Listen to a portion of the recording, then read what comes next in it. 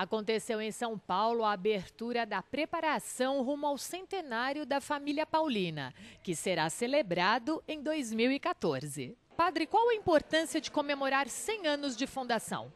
A importância está em agradecermos a Deus porque Ele nos chamou para uma missão.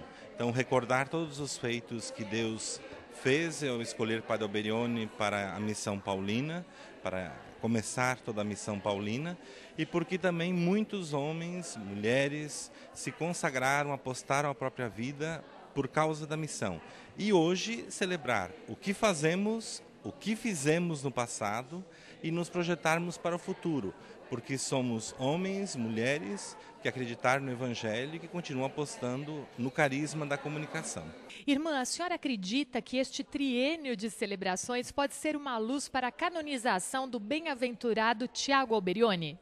Eu acredito que sim especialmente se nós, família Paulina, paulinos e paulinas e pia discípulas, todas as congregações, formos um verdadeiro testemunho dessa luz que Cristo nos chama a irradiar, esta luz que é Ele mesmo, e porque ele diz: Eu sou a luz do mundo, vocês são a luz do mundo, e me servirei de vocês para iluminar.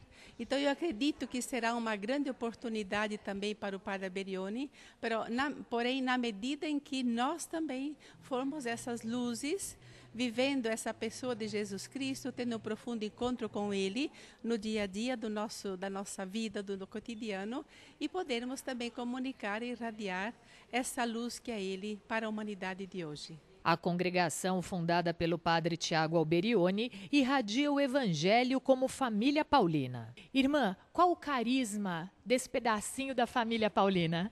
O carisma da nossa congregação, desse pedacinho da família Paulina, como você disse, é trabalhar pelas vocações, é ajudar os jovens, as pessoas, a encontrar o seu lugar na vida, a descobrir a sua vocação, que não é simplesmente ser padre ou ser irmã, mas descobrir-se como um dom, um chamado de Deus, e que esse dom, esse chamado de Deus, pode se realizar na vida assumindo diversas vocações, casando, pai, mãe, ser, é, ser esposo, ser esposa é uma vocação, ser padre, ser irmã é outra vocação, ser leiga consagrada, que tem várias vocações e que cada um pode se encontrar e tem vários ministérios e vários serviços. É nossa missão também animar as pessoas para que elas sejam fiéis ao seu sim que deram a Deus, já tendo respondido a uma vocação, mas estão passando momentos de crise, de dificuldade, né? Então, a nossa vocação é trabalhar pelas vocações, dizia para o Padre Alberione, é servir a igreja. Nós servimos no campo das vocações e ministérios. Como que nós podemos, neste período de comemorações, rezar aí pelas vocações? Primeiro que rezar pelas vocações é um mandado de Jesus para toda, todo cristão, né, todo discípulo e discípula. E nós podemos rezar com a força que ele nos deu nesse mandato de pedir ao Pai que mande operários, né?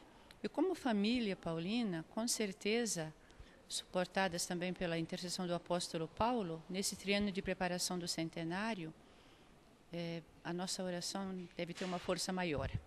O carisma das irmãs pastorinhas é a missão pastoral, que em si é a missão de toda a igreja, mas nós vivemos como carisma porque temos uma espiritualidade, temos uma, uma, uma pastoral, eh, junto com todas as pastorais, específica nossa, que é da animação, da edificação das comunidades, a formação de lideranças cristãs. Em si, é a missão dos pastores da igreja que nós realizamos como irmãs. Porque o nosso fundador, o Beato Alberione, ele foi também pároco é, por três anos numa paróquia, e lá ele viu muitas religiosas também trabalhando, mas ele disse: está faltando alguma coisa a mais, não são pastorinhas, ou seja, mulheres que realizassem a missão do pároco como mulheres consagradas na igreja. Então, isso foi mais ou menos no ano 1908, e ele começou a pensar nas, nas pastorinhas. E 30 anos para frente que nós nascemos, somos a quarta congregação e temos esse título, Irmãs de Jesus Bom Pastor, porque ele se inspirou na pessoa de Jesus Bom Pastor, aquele que ama, que cuida com carinho, que vai em busca das ovelhas desgarradas, em busca do povo mais necessitado, abandonado, para ajudá-los que tenham verdadeira vida, paz, saúde. Então, nós somos irmãs ah, para a missão pastoral, irmãs da pastoral. O padre Tiago Alberione, quando fundou a família Paulina, um dos carismas é a utilização dos meios de comunicação, né? Como que vai ser todo esse processo dentro desse triênio, dentro desta festa? É claro, a comunicação hoje está guiando praticamente a humanidade, está transformando a cultura. E nós nascemos na igreja para usar ah, os meios de comunicação. Então, não somente os meios, a cultura, cultura da comunicação, a nova cultura que se está gestando através da comunicação. Então, é nosso desejo, sobretudo, as duas congregações que têm como objetivo a evangelização através dos meios de comunicação, que são os padres paulinos e as irmãs paulinas, nós desejamos entrar mais decididamente nos novos meios de comunicação, sem deixar os antigos, mas sobretudo os novos meios, entrar na, no mundo digital para anunciar o evangelho. Priscila Lloyd, de São Paulo, para a Rede Vida de Televisão.